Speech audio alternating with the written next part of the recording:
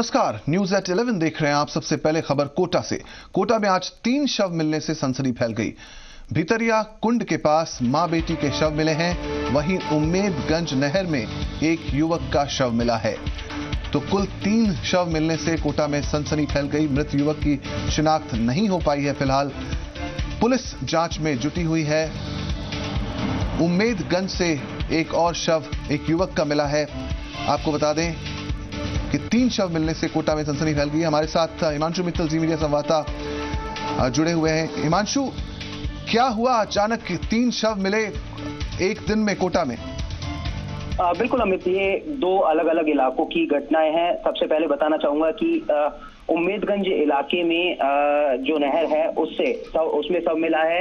उद्योग नगर थाना पुलिस ने सबको कब्जे ले लिया है। साथ में शिनाख्त की भी कोशिश की जा रही है। अब तक सौ की शिनाख्त नहीं हो पाई है। उद्योग नगर थाना पुलिस पूरे मामले की जाँच में जुट गई है। वहीं अगर दूसरे मामले की बात करें तो दादावाड़ी थाना इलाके में भितरिया कुंड के पास में दो महिलाओं के सब मिले हैं और इस पूरे मामले में शिनाख्त भी हो गई है। दोनों ही महिलाएँ रिश्ते में माँ बेटी हैं और पता चल पाया है परिजनों ने बताया कि पारिवारिक परेशानी की वजह से इन दोनों माँ बेटी ने चंबल नदी में कूद करके अपनी जान दी है। फ़िलहाल इस पूरे मामले को लेकर के दादावाड़ी थाना पुलिस अपने स्तर पर जाँच कर रही है। मामला दर्ज कर लिया जी गया शुक्रिया है। शुक्रिया कोटा से हिमांशु मित्तल जो माँ बेटी की शिनाख्त हुई है दादावाड़ी थाना इलाके की जो घटना थी जहाँ पर शव मिले थे बताया जा रहा है कि उसमें पारिवारिक परेशानी से ये खुदकुशी की गई होगी और युवक का जो शव मिला है उसमें अभी शिनाख्त नहीं हो पाई है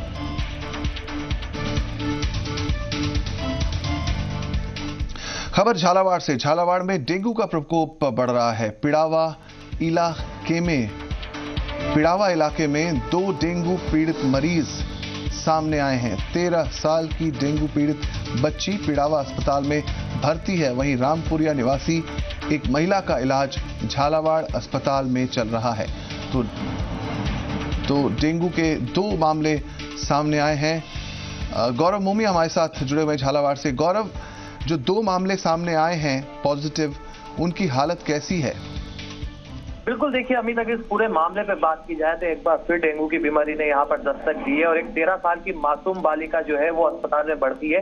इसके साथ ही रामपुरिया की एक महिला को भी डेंगू पॉजिटिव बताया गया है, जिसका उपचार झालावाड़ के जिला चिकित्सालय में चल रहा है। फ़िलहाल अभी स्थिति ठीक बता रही है। चिकित्सक ये पूरी बीमारी के लिए लगे हुए हैं। साथ ही चिकित्सा विभाग की जो टीम है वो भी इस क्षेत्र में काम करने के लिए रवाना हो चुकी है। पिड़ावा क्षेत्र में एक बार फिर चिकित्सा विभाग की जो टीम है वो सर्वे करेगी। लेकिन फ़िलहाल जहाँ तक उपचार की बात है दोनों को अस्पताल में भर्ती कराया गया और चिकित्सा विभाग इस मामले को गंभीरता से लेते हुए इलाज कर रहा है। जी गौरव कहा यह जाता है कि ठंड आने के साथ डेंगू कम हो जाता है डेंगू के मच्छर मरने लगते हैं। लेकिन इस बार एक बार फिर से डेंगू सामने आने की वजह क्या है? बिल्कुल देखिए इस मामले में बात की जाए तो एक्चुअली चिकित्सा विभाग के सामने भी ये मामला सवेरे ही सामने आया था। तो इस मामले में हमारी चिकित्सा विभाग के अधिकारियों से बात हुई थी। चिकित्सा विभाग की टीम का साफ़ तौर पर कहना था कि जो गंदगी वगैरह है इसके कारण से हो सकता है कि वहाँ पे डेंगू ने फिर से पेड़ पसारे। लेकिन जो सर्वे होगा उसके मुताबिक ही मुख्य कारण सामने आ पाएगा कि जी जी जी शुक्रिया शुक्रिया गौरव इस जानकारी के लिए। तो शिक्षा विभाग जो चिकित्सा विभाग है वो सर्वे कराएगा तब पता चल पाएगा कि ये एक बार फिर से डेंगू का प्रकोप किस तरह से वहाँ पर झालावाड़ में निकल के आया है? खबर उदयपुर से, उदयपुर शिफ्ट किए गए बाघ टी ट्वेंटी फोर उस्ताद की तबीयत में लगातार गिरावट से चिंता बढ़ गई है। आहार नली में रुकावट की वजह से बाघ पर्याप्त भोजन नहीं ले पा रहा है। डॉक्टर्स की टीम इलाज में जुटी हुई है। सीसीटीवी से उस्ताद की गतिविधियों पर भी नज़र रखी जा रही है। उदयपुर शिफ्ट किए जाने के बाद से ही उस्ताद को काफ़ी दिक्कतें पेश आ रही हैं। शुरुआत में ये कहा गया था कि उसे कब्ज की शिकायत है, लेकिन अब आहार नली में दिक्कतें सामने आ रही हैं। कपिल शिमाली हमारे साथ जी मीडिया संवाददाता जुड़े हुए हैं। कपिल, क्या वजह है कि उस्ताद की हालत में सुधार नहीं हो पा रहा? हाँ जी, देखिए, पिछले दस दिनों से लगातार टी ट्वेंटी फोर की स्थिति में लगातार गिरावट आ रही है और वास्तविक स्थिति अभी तक सामने नहीं आ पा रही थी, क्योंकि वन विभाग के अधिकारी टी ट्वेंटी फोर की जो वास्तविक तबियत की जो स्थिति उसे लगातार दबाने में लगे हुए थे। हालाँकि चिकित्सकों का दल ये लगातार कोशिश कर रहा कर रहा था कि टी ट्वेंटी फोर की तबियत में सुधार किया जा सके। लेकिन लगातार बढ़ते दबाव के चलते टी ट्वेंटी फोर की स्थिति को लेकर वन विभाग को कल देर रात एक बुलेटिन जारी करना पड़ा, जिसमें साफ़ हो पाया कि टी ट्वेंटी फोर की आहार नली में रुकावट है और यही वजह है कि वो पर्याप्त भोजन नहीं कर पा रहा। और इसी वजह से उसको मल त्यागने में भी परेशानी आ रही है। इन सभी पहलुओं को ध्यान में रखते हुए इंडियन वेटनरी रिसर्च इंस्टीट्यूट की पाँच सदस्यीय चिकित्सकों की टीम देहरादून और बरेली से उदयपुर पहुँच चुकी है आज सुबह से टी ट्वेंटी फोर का इलाज शुरू कर दिया गया है और ये कोशिश की जा रही है कि जल्दी से जल्दी टी ट्वेंटी फोर की स्थिति में सुधार लाया जा सके क्योंकि दस दिनों से लगातार तबियत में तो गिरावट आ रही है उससे कहीं ना कहीं चिंता बढ़ती जा रही है और जो वन विभाग के अधिकारी है उनके लिए अब ये परेशानी का सबब बनता जा रहा है। जी जी जी शुक्रिया कपिल।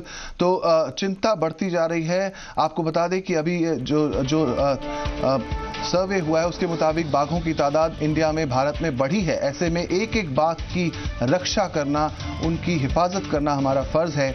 और अब कहीं जाकर उदयपुर का प्रशासन सचेत हुआ है और इसे इस, इस, इस, इसकी बीमारी को गंभीरता से लिया जा रहा है। प्रदेश के एकमात्र हिल स्टेशन माउंट आबू में ज़बरदस्त ठंड पड़ रही है। पारा गिरकर चार डिग्री तक पहुँच गया है। सर्दी बढ़ने के साथ ही सैलानियों की आवाजाही भी बढ़ गई है। सभी टूरिस्ट पॉइंट्स पर पर्यटकों की भीड़ देखी जा रही है। माउंट आबू में विंटर फेस्टिवल भी होना है। ऐसे में पर्यटकों की संख्या बढ़ना लाजमी है। और ऊपर से ये जो बढ़ती ठंड है, ये उत्साह और बढ़ा रही है। साकेत गोयल हमारे साथ मौजूद हैं। साकेत कैसा माहौल है माउंट आबू का? जी माउंट आबू में पिछले दिनों से सर्दी का दौर तो जारी ही था लेकिन आज सर्दी का असर एक बार फिर तेज हो गया है जो माउंट आबू का न्यूनतम तापमान है चार डिग्री तक लुढ़क गया है। और इस तेज सर्दी के कारण भी पर्यटक यहाँ पर आना सुचारू है और बल्कि पर्यटकों की संख्या अब बढ़ रही है सर्दी के कारण। जी जी शुक्रिया। तो पर्यटकों की तादाद बढ़ती जा रही है सिरोही माउंट आबू में और माहौल आज चार डिग्री नीचे गिरा है। चार डिग्री तक पहुँच गया है तापमान, जिससे पर्यटक वहाँ पर भारी ताद में अभी भी पहुँच रहे हैं और इस माहौल का मज़ा ले रहे हैं। दिसंबर में मौसम का मिजाज बदलने से लोगों को काफ़ी परेशानी होती है। सर्दियाँ शुरू हो चुकी हैं, लेकिन बीच बीच में तापमान उतार चढ़ाव इसमें देखा जा रहा है। बीच में दिन में गर्मी का एहसास होता है। वहीं कई इलाकों में बेमौसम, बारिश से परेशानी और बढ़ रही है। मौसम विभाग के मुताबिक प्रदेश में फ़िलहाल उत्तरी हवाएँ प्रवेश नहीं कर पा रही हैं। साथ ही पश्चिमी विक्षोभ की स्थिति बनी हुई है। ऐसे में तापमान में उतार चढ़ाव बना हुआ है। अगले दो तीन दिन में पूर्वी राजस्थान में हल्की बारिश की आशंका जताई जा रही है। मौसम विभाग के मुताबिक बारिश के बाद प्रदेश में ठंड बढ़ेगी।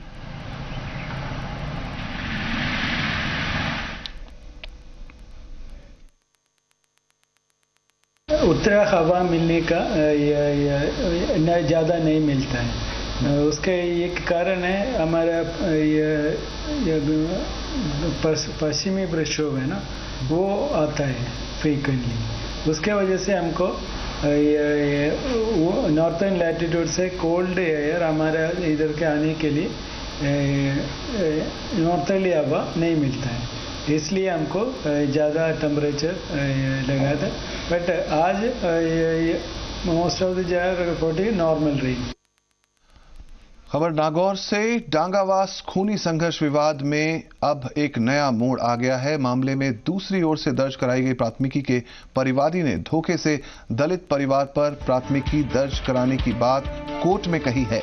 मृतक रामपाल के भाई और परिवादी सुरेश ने मेड़ता कोर्ट को ये बताया है कि उसने मामले को लेकर किसी भी प्रकार की प्राथमिकी दर्ज नहीं कराई है, बल्कि डांगावास गाँव के कुछ लोगों ने पंचनामे पर हस्ताक्षर कराने के बहाने कुछ पेपर पर दस्तखत करा लिए और गाँव के कुछ लोगों ने एफआईआर दर्ज करा दी। साथ ही इस मामले में परिवादी सुरेश पुरी ने झगड़े में प्रत्यक्षदर्शी होने की बात भी नकार दी है।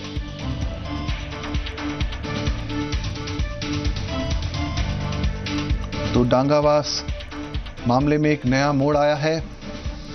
प्रत्यक्षदर्शी होने की बात भी नकार दी गई है और ये भी कहा गया है कि कोई दूसरे पक्ष की तरफ़ से ये भी कहा गया कि कोई प्राथमिकी दर्ज नहीं कराई गई थी, बल्कि धोखे धोखे से शिकायत दर्ज कराई गई थी। हमारे साथ मनोज सोनी, जी मीडिया संवाददाता जुड़े हुए हैं। मनोज ये जो नया मोड़ आया है, इससे पूरे केस पर क्या असर पड़ेगा? तौर पर जिस प्रकार डांगावास का जो जघन्य जो हत्याकांड हुआ, उस हत्याकांड को लेकर जिस प्रकार दोनों ही पक्षों द्वारा जो विरोध प्रदर्शन किया गया, मामले की निष्पक्ष जाँच की मांग की गई और राजस्थान सरकार पर दबाव डाला गया और दबाव के बाद में जिस प्रकार सीबीआई मामले की जाँच कर रही है तो इसी क्रम में जो दूसरी पक्ष की जो प्राथमिकी है, जो मृतक रामपाल के भाई ने के नाम से जो दर्ज हुई है, उसने कोर्ट में एक के बयान देकर इस बात का खुलासा किया कि उसने किसी भी प्रकार की कोई एफआईआर दर्ज नहीं कराई है, बल्कि गाँव के ही कुछ लोगों ने धोखे से पंचनामे के आधार पर एक खाली पेपर पर साइन करवा लिए और वही साइन एफआईआर के रूप में काम में लिए गए। और उन्होंने इस बात का खुलासा कोर्ट में दिए गए एक के कलमबंद बयान में किए हैं। जी अमित जी शुक्रिया। तो आ, सुरेश जो मृतक रामपाल का भाई है उन्होंने कहा है कि धोखे से उनके साइन जो है वो एफआईआर में इस्तेमाल किए गए और उन्होंने कोई एफआईआर दर्ज नहीं कराई है। साथ ही उन्होंने प्रत्यक्षदर्शी होने से भी इनकार कर दिया है। सीबीआई मामले की जाँच कर रही है। अब इस नए मोड़ के आने के बाद देखना होगा कि केस पर किस तरह से असर पड़ता है। बारा के पास एनएच 27 पर मॉर्निंग वॉक पर गए एक बुज़ुर्ग को कोटा की ओर से आ रहे वाहन ने टक्कर मार दी, जिसमें बुज़ुर्ग की मौके पर ही मौत हो गई।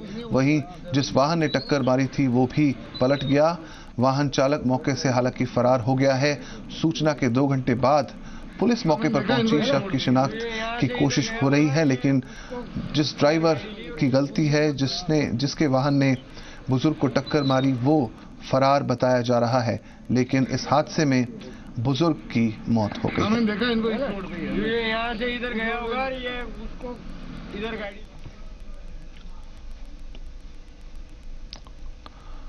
हमारे special show face to face में चैनल हेड पुरुषोत्तम मैश्रफ से खास बातचीत के दौरान इंद्रेश कुमार ने कहा कि राष्ट्रीय स्वयंसेवक संघ देश को जोड़ने का काम कर रहा है। करोड़ों भारतीय मुसलमान विदेशी नहीं है। है कि राष्ट्रीय स्वयंसेवक संघ की तरफ़ से हमेशा पूरे देश को जोड़ने का काम रहा है। इस देश के अंदर जो करोड़ों करोड़ मुसलमान हैं, वो विदेशी नहीं है। वो अपने पूर्वजों से, अपने देश से, अपनी परंपराओं से, अपनी जाति और भाषा बोलियों से भारत का था, भारत का है और भारत का ही रहेगा। प्रदेश में बीजेपी राज की दूसरी सालगिरह मनाने की तैयारियाँ ज़ोर शोर से चल रही हैं। बीजेपी दफ्तर में अहम बैठकों का दौर जारी है। जलसे की और कामयाब बनाने के लिए और यादगार बनाने के लिए मुख्यमंत्री वसुंधरा राजे भी बैठक ले रही हैं, लेकिन इस बीच विपक्ष भी सरकार को घेरने का कोई मौका नहीं छोड़ रहा।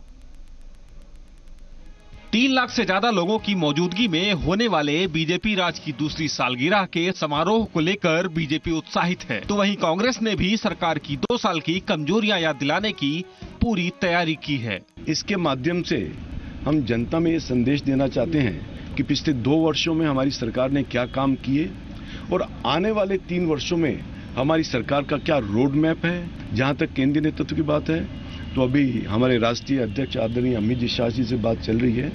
मैं समझता हूँ उनका भी आना रहेगा और हमारे जो केंद्रीय मंत्री हैं, वो भी आएँगे। सालाना जलसा यादगार बने, इसके लिए बाकायदा विधायक, मंत्री, जिला प्रभारी, जिला अध्यक्ष समेत सभी सक्रिय नेताओं को भीड़ जुटाने की ज़िम्मेदारी दी गई है और इसकी मॉनिटरिंग खुद सूबे की मुख्यमंत्री वसुंधरा राजे कर रही हैं। तैयारियों को लेकर पार्टी कार्यालय में बैठक भी बुलाई गई। जिसमें सोलह जिलाध्यक्षों, पंद्रह जिला प्रभारियों और चार अग्रिम प्रकोष्ठों से प्रदेशाध्यक्षों समेत 106 विधायकों ने अगले तीन सालों में जनता को सरकार की ओर से क्या दिया जा सकता है, इस पर मंथन किया गया। इधर विपक्ष ने भी सरकार को घेरने की पूरी तैयारी कर ली है। सरकार क्या उपलब्धियाँ लेके जाएगी? भ्रष्टाचार, महँगाई माइनिंग घोटाला और ऐसी कई चीज़ें हैं जिसके कारण सरकार की साख को बट्टा लगने के साथ, प्रदेश की साख को भी बट्टा लगा। कलंकित हुई है यहाँ की प्रतिष्ठा। ऐसे में सरकार जब अपनी झूठी उपलब्धियाँ लेकर के जनता के बीच में जाएगी तो कांग्रेस भी अपना धर्म निभाते हुए जनता की आवाज़ को भावना को अभिव्यक्त करने के साथ ही सरकार की नाकामियों का पर्दाफाश करने के लिए जनता के बीच में जाकर के सारी बातों का वर्णन करके जनता की भावना को अभिव्यक्त रिसर्जेंट राजस्थान की सफलता से उत्साहित राज्य सरकार दो साल की उपलब्धियों को जनता तक पहुंचाना चाहती है। वहीं जानकारों का कहना है कि इस जलसे के ज़रिए राज्य सरकार केंद्रीय नेतृत्व को जनता के बीच अपनी लोकप्रियता दिखाने की कोशिश कर रही है। Shashi Mohan Sharma, Zee media, Jaipur. PCC chief Sachin Pilot ने बीजेपी सरकार के दो साल के जश्न मनाने पर सवाल उठाए हैं। उन्होंने कहा है कि सरकारी पैसे का, सरकारी पैसे का यह दुरुपयोग है। पायलट ने कहा कि सरकार को पाँच साल के लिए जनादेश मिलता है, लिहाजा हर साल इस तरह से वर्षगांठ मनाना ठीक नहीं है।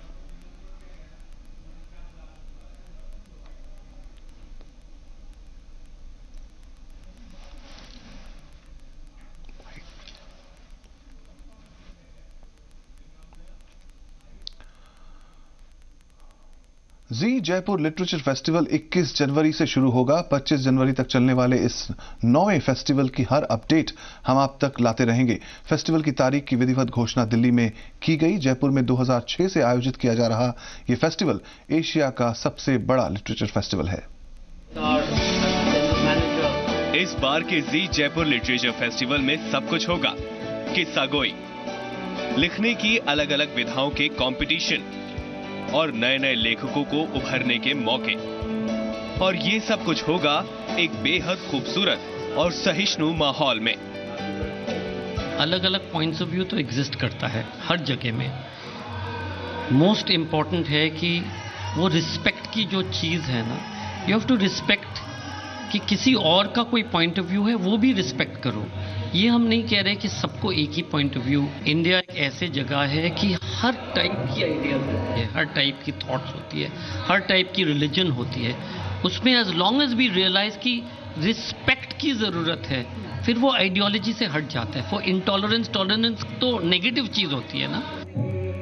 दुनिया के जाने माने नोबेल पुरस्कार विजेताओं के साथ, प्रांतीय भाषाओं के जानकार पत्रकारिता की दुनिया के बड़े नामों से लेकर बॉलीवुड के चर्चित चेहरे जयपुर में इकट्ठा होंगे। एक नेटिव अमेरिकन राइटर हैं डेबरा मैकपाई तो वो आएँगी। और एक बहुत प्रख्यात लेखिका हैं मार्गो जेफरसन जिन्होंने एक निग्रो लैंड नाम की किताब लिखी है वो आएँगी।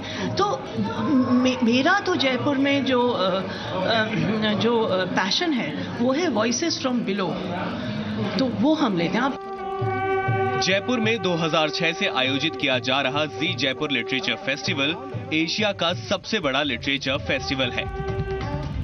फेस्टिवल 21 से 25 जनवरी तक जयपुर के दिग्गी पैलेस में चलेगा। एंट्री फ्री है।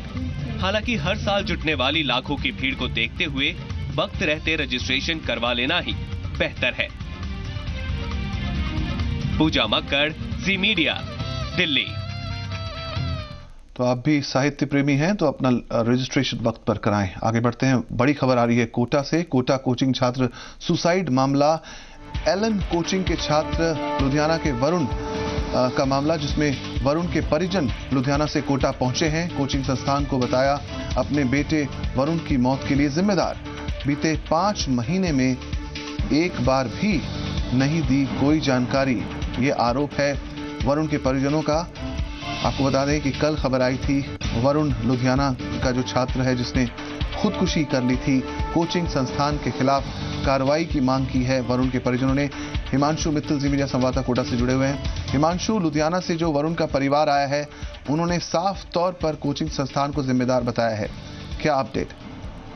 बिल्कुल, अमित, आपको बताएँ कि वरुण के जो परिजन हैं, उन्होंने सीधे तौर पर अपने बेटे की मौत के लिए कोचिंग संस्थान को ही जिम्मेदार माना है। और वो भी क्यों ना, अमित, जिस तरह से आप अपने आप में जो चीज़ निकल करके आई है, अपने अपने बहुत है कि अगर कोचिंग संस्थान ये कहता है कि वरुण अगस्त माह में पाँच दिन, सिर्फ़ पाँच दिन कोचिंग में आकर के उसने अटेंडेंस की थी पाँच दिन आया था सितंबर माह में, सिर्फ़ और सिर्फ़ दो दिन आया था। ऐसे में अपने आप में ज़िम्मेदारी बनती थी कि परिवार को अवगत कराया जाए, लेकिन परिवार का सीधे तौर पर यही कहना है कि एक भी बार वरुण के बारे में किसी भी तरह की कोई भी जानकारी किसी भी तरह का कोई भी अपडेट उसकी परफॉर्मेंस को लेकर के उसकी अटेंडेंस को लेकर के परिवार को नहीं दिया दिया गया। किसी भी तरह की कोई सूचना कोई भी इंफॉर्मेशन उन तक नहीं पहुंचाई गई। जी जी जी मानशु ये बहुत अहम है।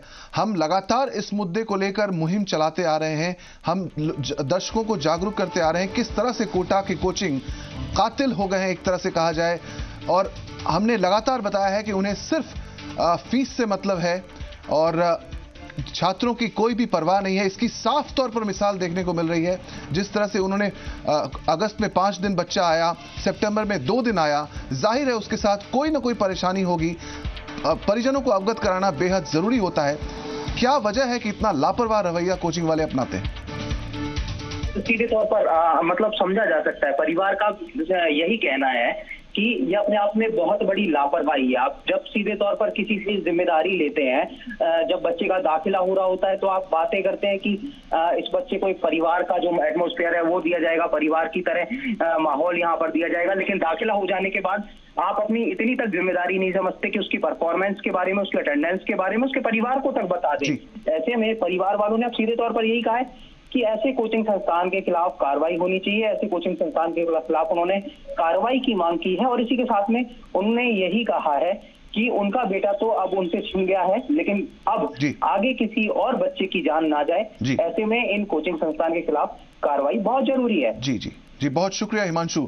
तो एलन जैसा कोचिंग इंस्टीट्यूट जो अपनी छात्रों की उपलब्धि के बाद अपनी वाहवाही कराता है लंबे चौड़े एड्स छपवाए जाते हैं कि हमारे इंस्टीट्यूट से इतने बच्चे फला फला परीक्षाओं में पास हुए। और अब जब ज़िम्मेदारी लेने की बात आती है तो ये रवैया है, ये मिसाल वरुण की साफ़ तौर पर ज़ाहिर करती है कि कोटा के कोचिंग इंस्टीट्यूट एलन जैसे कोचिंग इंस्टीट्यूट कितने लापरवाह हैं। ज़ाहिर इस केस में पुलिस जाँच करेगी, तब दूध का दूध और पानी का पानी होगा। इस बुलेटिन में इतना ही। बने रहे हमारे साथ।